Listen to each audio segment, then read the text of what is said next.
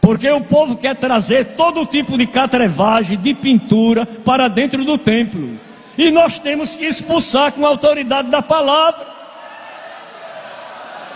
Aborrece alguém, fica alguém intrigado, pode morrer, mas a palavra tem que ser falada. É ela quem apruma a igreja, é ela quem limpa, é ela quem purifica, é ela quem santifica.